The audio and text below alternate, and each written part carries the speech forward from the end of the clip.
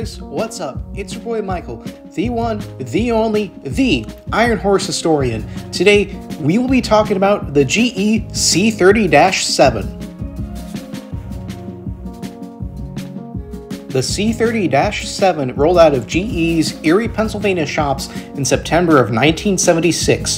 The very first one was Burlington Northern number 5500 in terms of improvements, the C30 7 had a 16% greater fuel efficiency compared to the U30C, improved tractive effort, and an upgraded electrical system. Despite being the same length as the U30C, in terms of visual differences, the C30 7 featured a flared radiator, a wider hood, and a notch for the oil cooler, which was the easiest way to tell the U30C and C30 7 apart.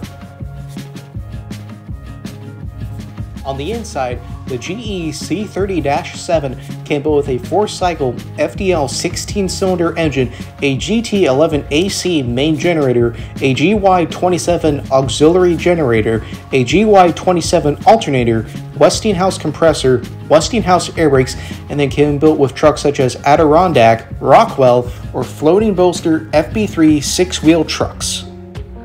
They had a top speed of 70 miles per hour, a starting tractive effort of 91,600 pounds, a continuous tractive effort of 91,500 pounds, a weight of 366,000 pounds, a length of 67 feet 3 inches, and for the horn, the C30 7 came built with horns such as a Leslie S5T, Leslie S3L, and Leslie S3K.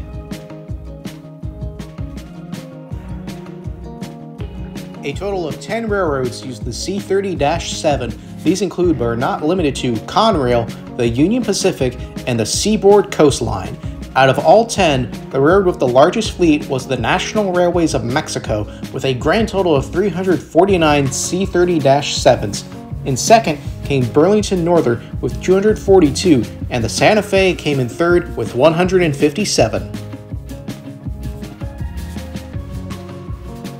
The GE C30 7 could be seen as far south as Brazil and as far east as Mongolia, where the previous U30C sold just 606 units, GE sold nearly twice as many C30 7s at 1,128 units. Also, the timing of General Electric couldn't have been better thanks to a national coal boom the Burlington Northern, thanks to the new C30 7, was able to move vast quantities of coal out of Wyoming's Powder River Basin. While no longer in service on Class 1s, you can still find the C30 7 in action on regional and short line railroads.